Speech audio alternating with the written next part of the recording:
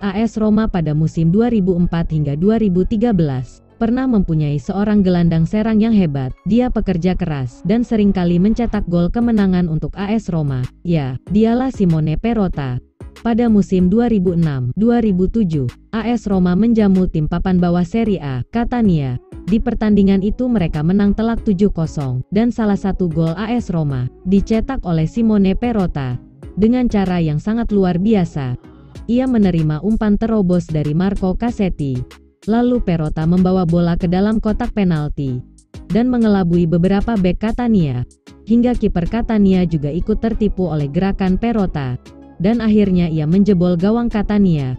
Di hari itu Simone Perota mengacak-acak pertahanan lawan dengan sangat sempurna. Perrotta, Perrotta, Perrotta, Perrotta! Non ce la fa, sì!